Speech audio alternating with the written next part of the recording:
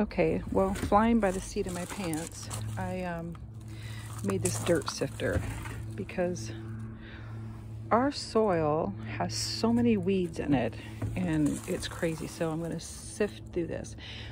I was kind of embarrassed because even though I marked it and I used the saw, like a circular saw, I was thinking, how could you go wrong? But I went wrong and it's totally wonky. And you see the mesh doesn't line up, but I don't think the dirt will notice or care. And I guess as long as it does its job, I can live with it. It looks like it worked pretty good. I'll show you what my soil looks like. So that's what I filtered through it. It looks pretty good.